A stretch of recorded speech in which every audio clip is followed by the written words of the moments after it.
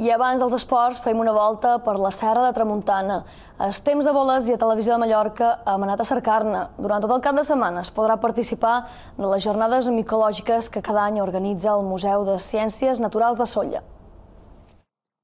La temporada oficial per recollir bolets ja ha començat. Amb el temps més fresc i la humitat es donen les millors condicions per fer de boletaire.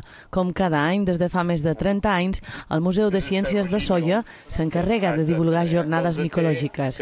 Avui hem trobat esclatassancs i picornells, però mai hem d'oblidar que s'ha d'anar alerta amb els bolets que desconeixem. Sigui, mos demanen, mos demanen sa, si és comestible després de menjar-se, que és com, bé, una, una imprudència del, del més gran que hi pugui haver i, i això no, no és que sigui un cas aïllat, hem trobat més d'algun casos d'aquests. Llavors, eh, això ja, com, pot, com podeu comprovar, ja, ja és bastant greu. Llavors, qualcú no se pot menjar mai un bolet si està eh, completament segur que és comestible, perquè hi està arriscant sa vida. Per evitar problemes, aquí es poden trobar més de 100 espècies diferents que s'han classificat en comestibles i en tòxiques. Durant tot el cap de setmana seguiran les activitats relacionades amb la micologia. Això